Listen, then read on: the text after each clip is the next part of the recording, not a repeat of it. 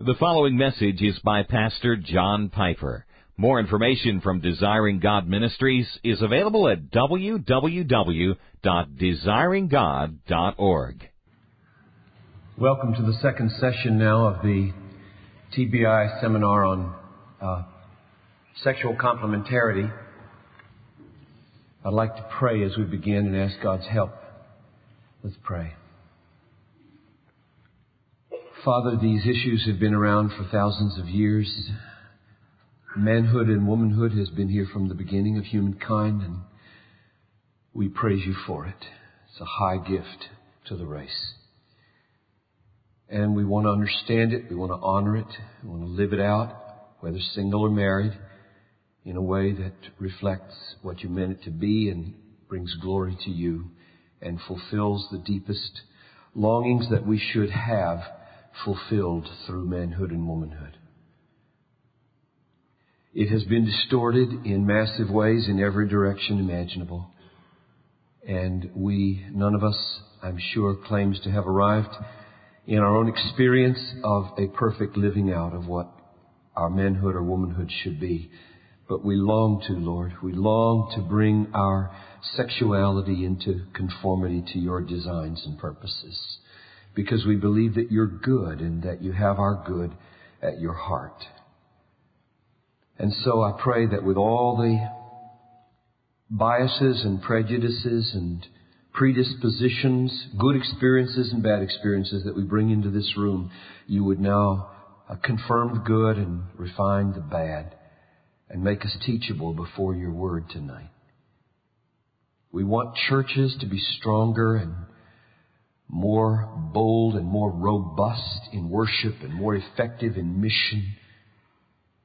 We want marriages to be beautiful, harmonious, respectful, full of wisdom, full of tenderness, full of life and joy and creativity and sweet, multi-leveled intimacy and mutual upbuilding and respect and a kind of complementarity that reflects Christ and the church to the world that needs it so badly. So, Lord, these and many more things you want to do tonight, I ask you to come and in your mercy to do because we pray in your Son's name, Jesus, our Lord. Amen. Last week was an introduction for reasons why this is an important issue and uh, some of the rationale for why we think about it. And uh, I mentioned that I'm, I'm, a part of a group and would recommend that you uh, consider finding out about the group Council on Biblical Manhood and Womanhood. You can find them at cbmw.org. Very simple if you want to check them out. They also have a journal, so you could uh, subscribe to that if you wanted to keep up quarterly to what the thinking is on the issue of complementarity.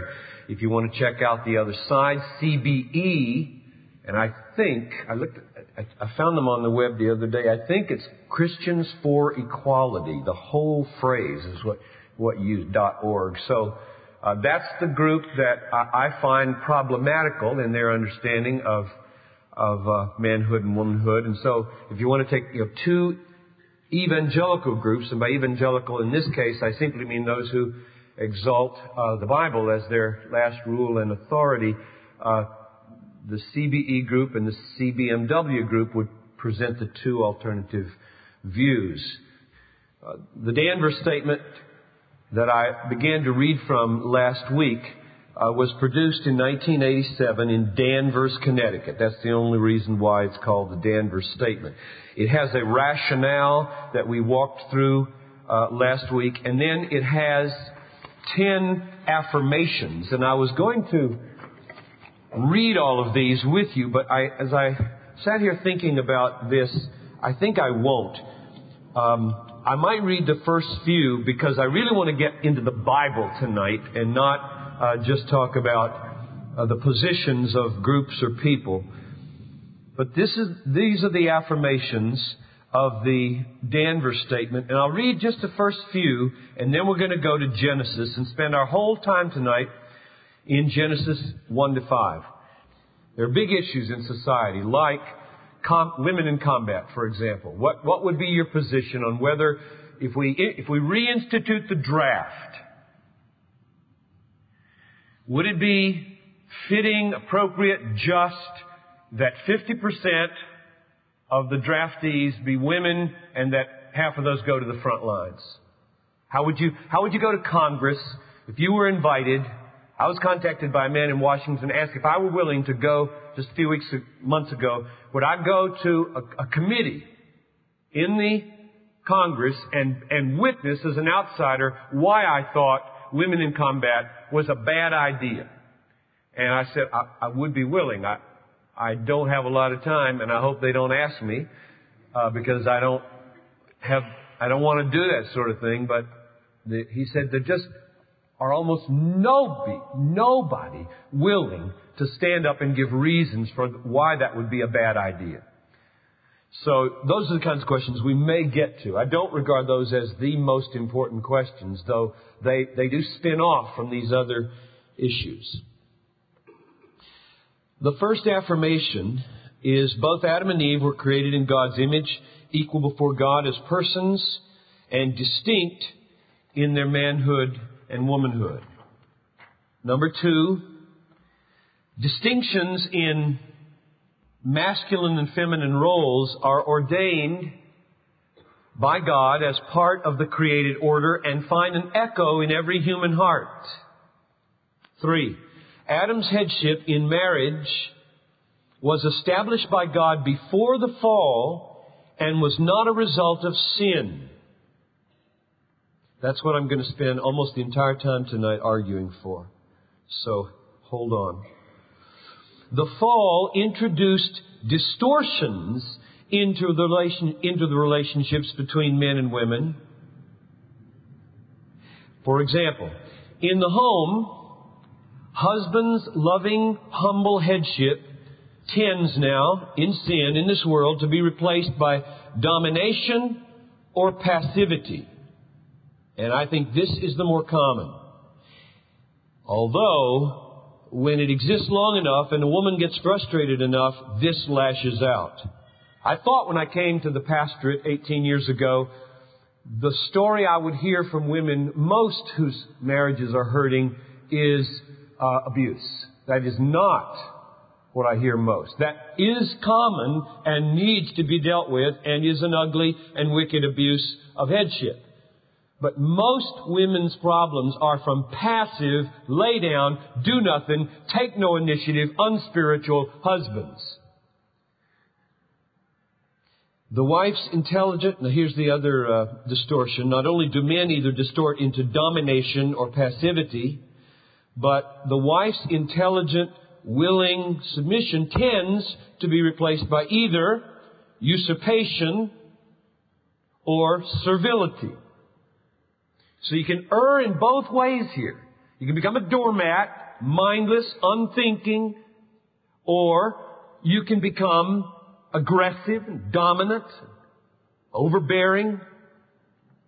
In the church, sin inclines men toward a worldly love of power or an abdication of spiritual responsibility and inclines women to resist limitations on their roles or neglect the use of their gifts in appropriate ministry. So again, in the church, it can cut both ways. Sin can do either of two things.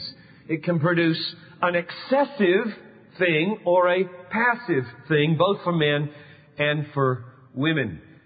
And redemption, I think I'll just give you one more point before we go to Genesis. Redemption in Christ, therefore, is a removing of the distortions. And it is a remarkable thing to first read the distortions that emerge in Genesis 3, and then to read Ephesians 5 as remedy for the distortion. For example, in the family, husbands should forsake harsh, selfish leadership and grow in love and care for their wives. Wives should forsake resistance to their husband's authority and grow in willing, joyful submission to their husband's leadership. In the church, redemption in Christ gives men and women an equal share in the blessings of salvation. Nevertheless, some governing and teaching roles within the church are restricted to men. We'll get to that in two weeks when we take up 1 Timothy 2. So redemption in Christ is a rectifying of the distortions that have come into the church and into the family owing to sin. Now, if you have a Bible, you may want to open it, although I did put all the text that I'm going to use on overhead so you can just watch if you want. But you might want to make marks in your Bible, I don't know. Here's what we're going to do tonight. We'll get as far as we can. And I don't know if we can finish this, but I'll go as far as I can. I have nine of these. And what we don't finish tonight, we'll finish, Lord willing, next week. Nine evidences in Genesis 1 to 5 that man's leadership is, or you could put headship in there, and I'll try to move toward definitions as we go along. We want the Bible to do the defining here, not tradition, and certainly not the distortion of sin, which is what uh, some of you have cautioned me, and I appreciate it, to lift this yellow flag that buzzwords can work badly against you from your experience, right? So you grow up in a, a, a church where uh, I had a I had a couple in my office one time, and, and the, the relationship was so sick that she had to get permission to go to the bathroom. So if, if you've walked among people like that, or been in churches where something like that without qualification may have been endorsed, then you probably bring a baggage into this room with the word head or leader that you're going to have to work real hard to overcome. And all of us bring stuff like that. On the other hand, a whole lot of you in this room are bringing heavy duty feminist baggage. And uh, you're going to need to work just as hard to give a hearing to uh, what the Bible has to say. None of us comes without baggage. We all need to work at our overcoming what would bring and try to hear the Bible. So um, my argument will be that man's leadership is an order of creation, not a result of the fall. I will try to show what does result from the fall and what does not. All right. Evidence number one. The creation of man and woman equally in God's image, equally in God's image, but with a representative leadership function implied for the man. Let's read Genesis 1, 26 to 27. Then God said, let us make man. Is the Hebrew word for Adam. And the reason that's significant and, and we've been round and round on this in recent months in the gender inclusive language debate in the Bible as to uh, whether Adam is a mere non-male specific generic human or whether it has male connotations. Well, let me just say here, Adam is the name given to the man. And Eve is the name given to the woman. Or Ish, woman is the name. So the, whether Adam is generic or not, the word chosen for the generic inclusive is a male word. It's the name of the man. This is highly offensive.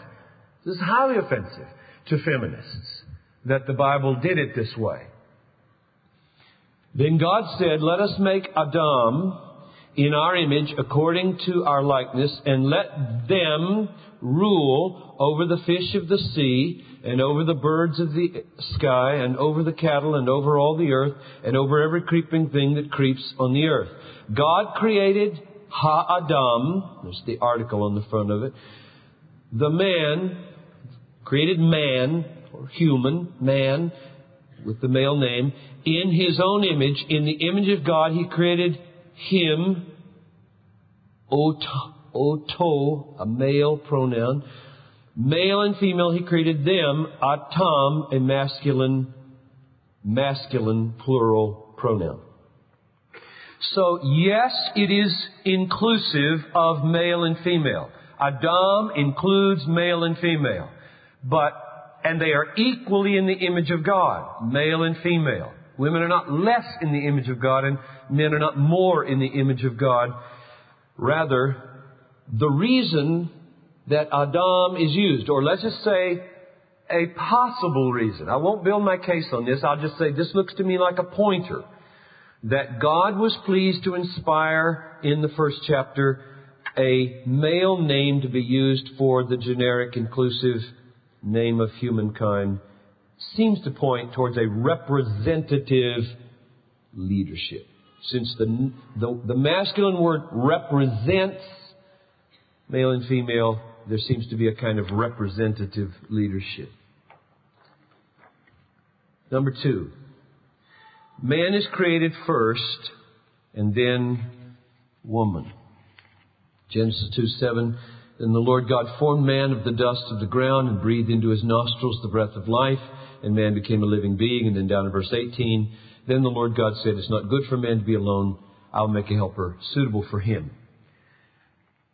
Paul in uh, 1 Timothy 2.13 uses this as an argument for why uh, men should be the leaders, that is, the governors and teachers in the church. The most common feminist objection here is that the animals were created before man. And therefore, on this logic, animals should lead the church or should be the head of the home or, in other words, it's, it's reductio ad absurdum. If you don't argue that animals are superior or should lead men, why do you argue that man being created first should lead woman? Now, the problem with that response is that a Jewish reader reading this would hear that response and roll his eyes and say, that's like, that's like saying that the law of primogeniture, that is, that the first son born in a family becomes the heir in an unusual way, then the next sons don't, that law is abrogated if the father had cattle before he had a son. It, it's, it is ridiculous.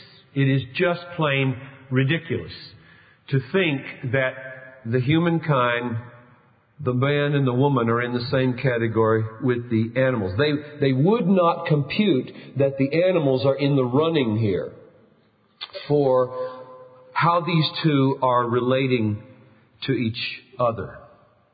Here's my second response to that argument. If God wanted to be clear about sequence having no bearing, He could have created them simultaneously, and He didn't. And third, my argument is an inspired apostle uses the priority of Adam as an argument for the leadership of man in the church. And I am slow to say Paul doesn't know what he's talking about. Like Paul Jewett did in 1975 when he wrote Man, Male, and Female. He said Paul simply erred. And he was one of my teachers at a seminary that had inerrancy in their statement and they changed the word the year I left. And Jewett led the way. They dropped the word inerrancy. These are big issues at stake here. So, I think there is a pointer in the fact that God chose to create the man first and the woman second to say, uh, go ahead, man. I mean for you to take some responsibility here, to take some leadership here, and this should, this should not mainly offend the women in this room. This should prick the conscience of men in this room that they should be getting out their Bibles at home. They should be getting on their knees at home. That's what this should be communicating. Get with it, men. Grow up. Don't yield by passivity these things to your wife who wants you to do this. wants you to lead in prayer at the table, wants you to say, let's have devotions, wants you to say, let's go to church, wants you to say, let's talk about disciplining the kids, wants you to say, let's get the finances in order. She's sick and tired of having to take all this initiative while you just sit around and watch TV. That's what you should hear. Not any right to tell her what to do. We're not talking rights here. We're talking burdens and responsibilities that millions of men are running away from. That was a little sermon that's.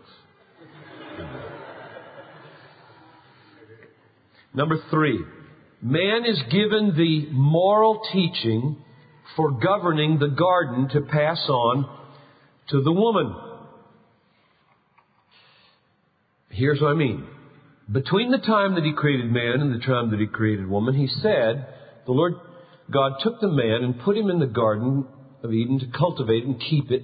And the Lord God commanded the man, saying, From every, from any tree of the garden you may eat freely, but from the tree of the knowledge of good and evil you shall not eat, for in the day that you eat of it you will surely die. So he gives this man the massively important moral instructions for how to live in the context of a moral world. Then he creates woman, and he does not repeat the instructions for her. Implying this man is responsible to make sure everybody else knows this. So I just underline what I just preached, that this is another little pointer in the flow that says, man, I put you here first, and man, I give you the guidelines first, and man, you are responsible for your home. Live up for this. Number four. Woman was created from man and presented as a helper fit for him. Then the Lord God said, Genesis 2, 18 to 23. It is not good for the man to be alone. I will make him a helper suitable for him. For, I'm sorry, not for. Out of the ground of the, out of the ground, the Lord God formed every beast of the field and every bird of the sky and brought them to the man to see what he would call them. And whatever the man called uh, a living creature, that was its name. The man gave names to all the cattle and to the birds of the sky and to every beast of the field. But for Adam, there was not found, there was not found a helper suitable for him. So, the Lord God caused a deep sleep to fall upon the man, and he slept. And then he took one of his ribs and closed up the flesh at, at that place, and the Lord God fashioned it into a woman fashioned into a woman the rib which he had taken from the man, and brought her to the man. And the man said, This is now bone of my bones and flesh of my flesh. She shall be called Isha, because she was taken out of Ish. That's the Hebrew words. So we, we have, we have uh, good English words there. We have, we have built English words from woman and man. That's very much like what happens in Hebrew. Ish and Isha. Now, the fact that she was taken from man's side, and the, fact, the fact that she was presented to him as a, a helper, I think suggests man is here to bear special responsibilities in this world for leadership. And women are brought in with their manifold gifts and complementary skills and abilities to help him realize that destiny together. Now, the, the feminist answer to this is that God is called our helper. Several places in the Bible. And since God is called our helper, I've heard, I've heard some of them say, I can't quite tell whether it's tongue in cheek, that therefore the woman should assume the leadership role here because God assumes the leadership role when He's called the helper of us. So helper implies leadership. I think, I think mostly they're just trying to nullify the argument rather than turn the argument on its head.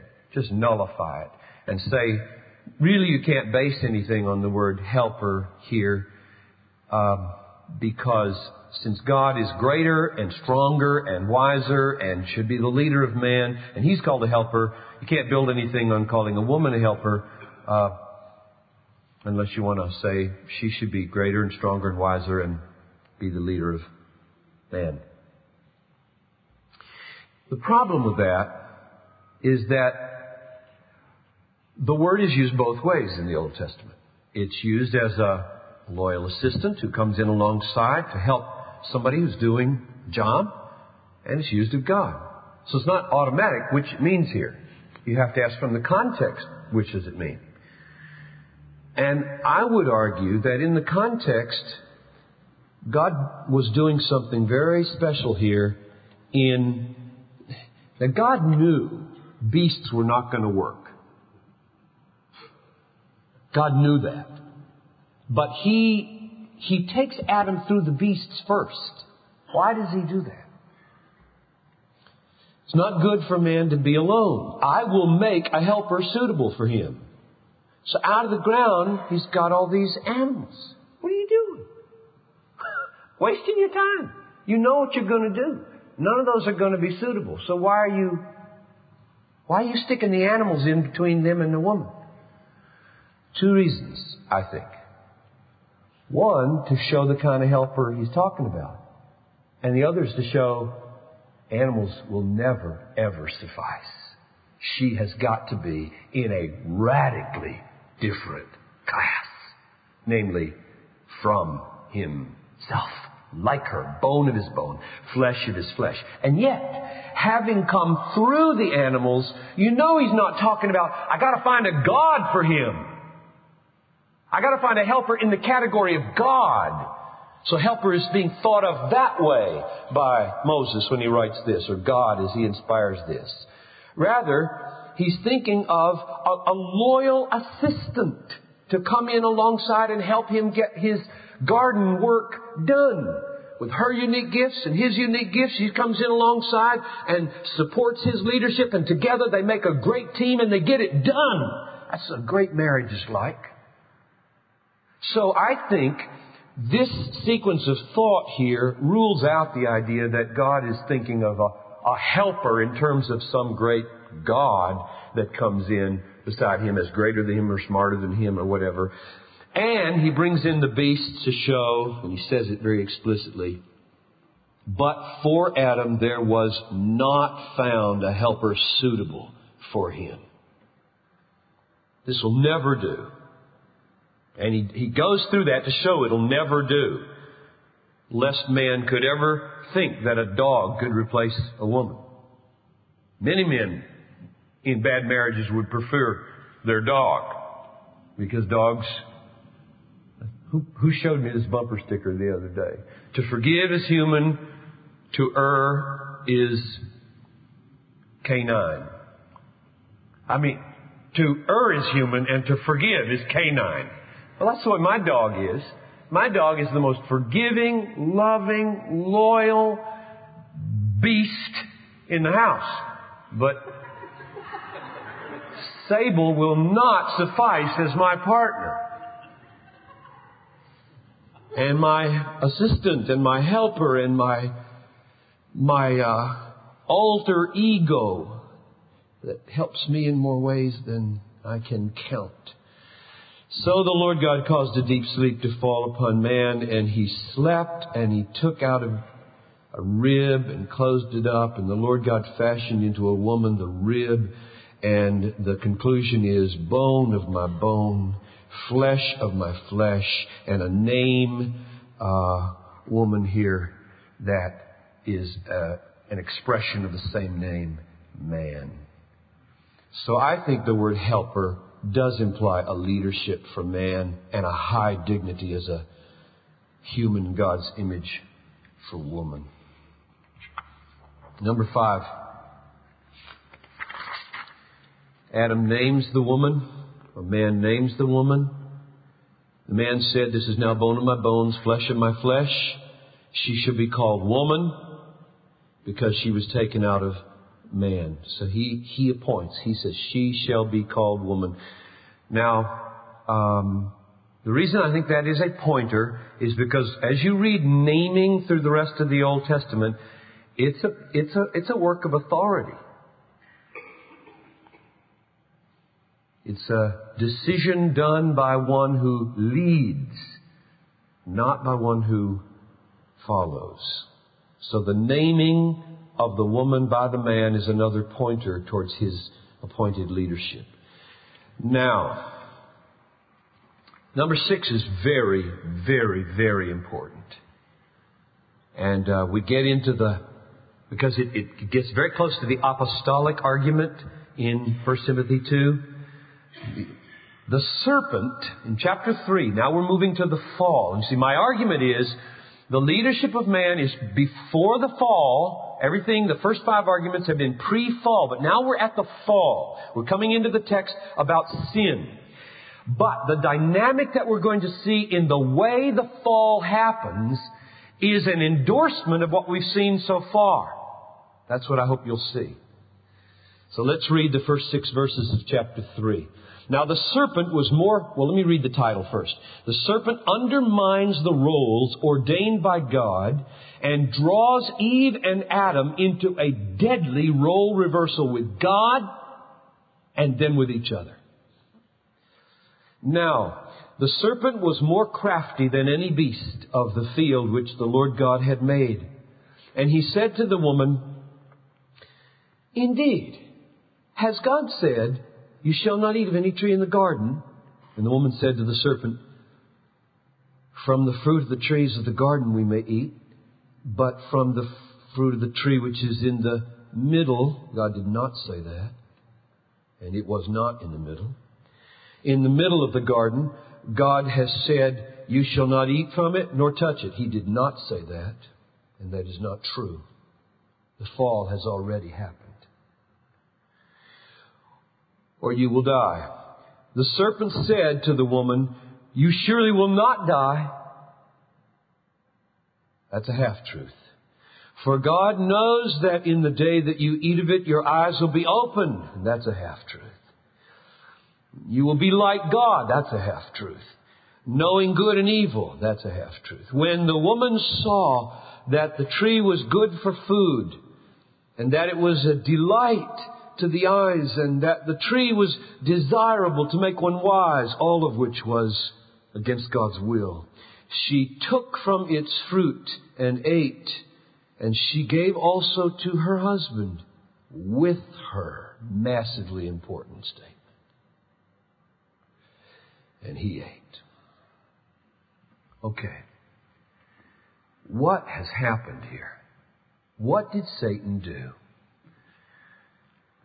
Satan arrives on the scene in the form of this serpent, and in order to undo what God has done in two levels, the God-man relationship and the God-woman relationship, he addresses the woman first. That is no small thing. That is no small thing, especially in view of the fact that the man is with her. Now, lest you think I'm, I'm assuming too much there. There is no point where she runs to get him here.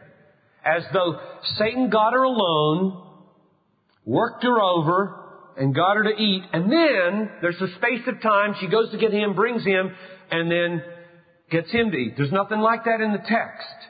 It's just he's with her. Lest you think that is an over assumption, let me put up 317 for you and listen to how God indicts the man. What is God going to say to Adam in view of this fall? What's he going to fault him for? Eating the fruit? Then to Adam he said, we'll come back to what he said to Eve in a minute. Then to Adam he said, because you have listened to the voice of your wife. Now she didn't say a word to Adam in the text. So if you're going to assume that she went to get him and talked him into eating it, you got to do a just as big an assumption as my assumption that he's there the whole time. And the Bible says he's with her. Not that he went, she went to get him. So the criticism is he's been there since the get-go. So it's as though um, a chief with his braves rides up to the cavalry general, Custer or somebody, and to explicitly dishonor the chief and defile the relationships, he ignores him and looks to the brave and says, Do your laws say this? And spites the chief. That's what Satan did. And Adam bought it. They fell together here. The fall was Adam's failure to say, wait a minute. Wait a minute. I'll tell you about the tree. Don't you try to beat up on my wife here. I will tell you about the tree. Because God taught me about the tree and I will be the protector here. I will be the leader here. I will be the lover here. And we will stand with God against you. And he didn't say a word. And God didn't like it. Adam, he said, because you have listened to the voice of your wife. Now let me just point out something else here. In the Hebrew, Shema, Lakol, Lakol, to the voice. I did a little word search years ago on the combination listen to the voice. Two Hebrew words, Lakol and Shema. One other place in Genesis does this phrase occur.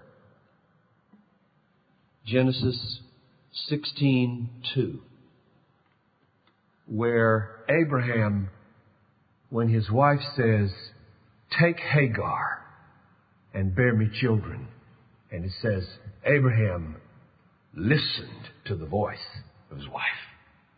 It's translated obey everywhere else, just about. It does mean obey.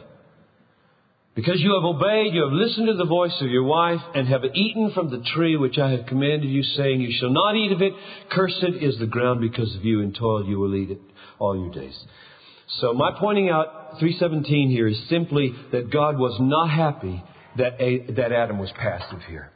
He was passively with her, listening and not intervening and falling with her.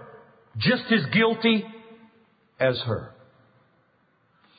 So, Satan uh, sows the seed by first addressing the woman, ignoring the man, giving her the primary word when the man should have taken the primary word of leadership and protection, and then, having done that and thus undermined the relationship already, he now undermines the relationship with God by posing the question, did God say? And she has already fallen. She's already begun to distrust Father in heaven that he both set up a good thing between man and woman and now that he set up a good thing in the garden.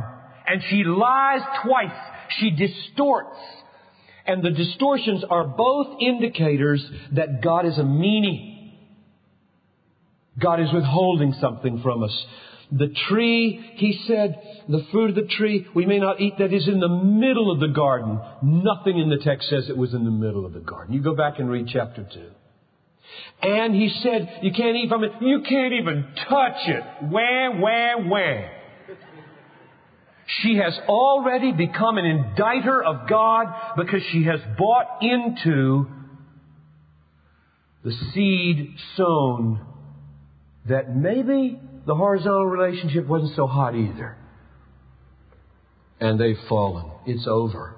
It is over already. And so the way she sees the, the fruit on the tree is, is so good that God must be wrong in saying not to eat it. And that's sin. That is the essence of sin ever since. Presuming, and, and this really hits the road hard in manhood and womanhood debates today. The essence of sin is distrusting the goodness of God in the way He sets up manhood and womanhood. And God and man. They go very closely together. There's a lot of rebellion in the world today over this issue. On both sides, either distorting headship into abusive or passive relationships or throwing out headship and calling egalitarianism the biblical ideal. So I argue that the way the fall happened endorses the correctness of leadership being a pre-fall gift of God to good man and good woman for their good, and Satan destroys it. Argument number seven. We, we will not be able to finish. I'll just take, uh, we'll stop here. I'll take this one and we'll stop. Then would be two more. I'll tell you what the two are. Um, what does it mean when it says a woman's desire will be for her husband, but man will rule over her? Come back for that. That's really important because it really gets misused by um, chauvinists. And the last one will be uh, from chapter 5. But let's just take this one. Men, listen carefully. Most of this I'm addressing to men. If men did what men were supposed to do with the heart of Jesus, 95% of the problems between men and women would be solved. Genesis 3 7. Then the eyes of both of them were opened, and they knew that they were naked, and they sewed fig leaves together and made themselves loin coverings. They heard the sound of the Lord God walking in the garden in the cool of the day, and the man and his wife hid themselves from the presence of the Lord God in the trees of the garden. And here's what happens. Then the Lord God called to the man, Where are you? Why? Why? Why not call Eve, you jerk? Look what you did when Satan talked to you. That's, God is not into talking to women like that. God comes to the man, the passive, do nothing, sit there and listen to Satan and woman talk man, and says, Adam, come here a minute. So I usually apply this and, and I'm, my argument is, he is giving man a burden and a responsibility at that point. And, and the way it applies to you is this, men. Tonight, 10 o'clock, squabble going on in the house, bad finances, children out of control, everything broken in the house, or whatever. Here I'm talking to married people, not single people. You knock on the door, God knocks on the door. Jesus knocks on the door. And your teenager opens the door. You know what God's going to say? He's going to say, Is your dad home? Father in heaven, I pray that dads would not be paralyzed by what I'm saying. Most of the dads that don't do what they're supposed to do are just paralyzed, hardly know where to start. I don't want to add to that paralysis. I want to encourage them with a strong biblical exhortation that they are called to love, protect, provide, care for, build up, take loving initiatives. They're the ones who are to say, let's, most often. Let's talk. Let's go out. Let's cry. Let's get together. Let's, let's, let's.